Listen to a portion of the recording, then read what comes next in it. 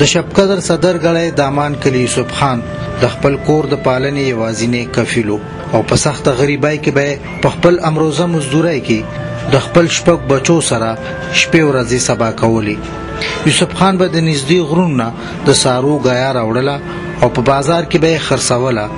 په تیر جمعه یوسف خان د امروزه رنګي غر ته تلو چرته چې د غره نه راپریوتو او په ټک مړ شو او دغه دوه دوه نیم سو روپۍ به سلا خپل بچو له په تیل مالګه راوړله خان ډیر غریب سړی و او خپل مهنت په کوغره ته به تا واخه به راوړله به خرصول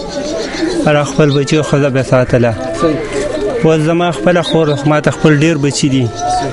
او زه د خلکو نه دا خواست کوم چې دې سم مدد وکړي د یوسف خان په کور کې که څومره هم غریبي او بیوسی و ولې د یوسف خان په ډاډګیرنې او تسلی به ټول کور خپل شپې ورځې په خندا خوشحالۍ تیرولې له خواري مزدوري کو لغره ته وته خشاک به راوړه به خرڅه بس خو سخت را باندې ری دي د خدای سره مشته بل درک مې نشته هیڅ څوک مې نشته د خدای سره مشته د یوسف خان یو د مرګ سره که یو خوا د هغه کوروادانې او ماشومان بچي د خپل یوازنی کپیل څخه محروم شو نو بل خوا د غریبۍ او بیوسۍ په دې وخت کې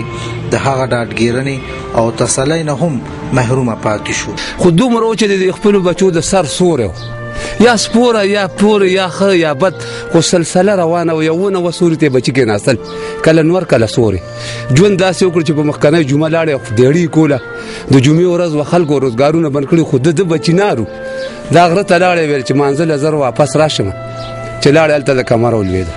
هغه سایه خدای د دنه واغستله د دې بد اعتمادانو نه اوس ژوند کې زه هغه خلکو ته سوال کوم منت کوم زاری کوم چې کوم خدای پاک له وس ورکړي هغه له او هغه دا کوشش کوي چې یو مظلوم یو یتیم سره زه خو کوم نو د یتیمانان دي چون کې ټیک د دلته ډیر خلک دي خو هغه خلک هم ډیر غریبانان دي د صدر غړې دامان کلی اوسیدونکو او د یوسف خان کورودانې د هغه ټول شتمنو حکومتي او د خیر خېګړې ادارو نه غوښتنه کوي چې د دې ماشومانو په کفالت کې دي د دوی سره خصوصي لاس وکړي شي احمد علي خان خیبر نیوز شپکګر